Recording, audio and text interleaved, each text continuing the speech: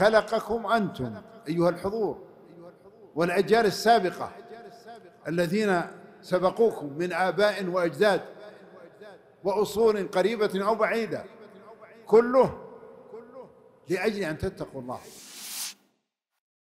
الشريعة لها مقاصد ويجمعها شيء واحد وهو تحقيق المصالح العاجلة والاجله للعباد. فالله تبارك وتعالى خلقنا لأجل مقصد وأشرف غاية. وقال لنا وما خلقت الجن والإنس إلا ها ليعبدون.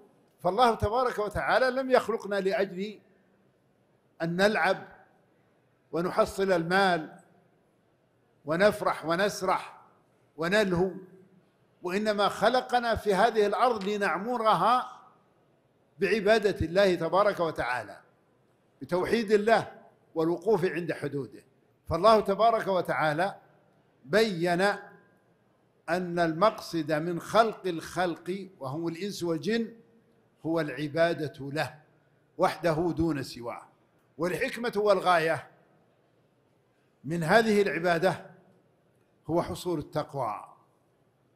كما قال جل وعلا يا أيها الناس اعبدوا ربكم الذي خلقكم والذين من قبلكم لعلكم تتقون.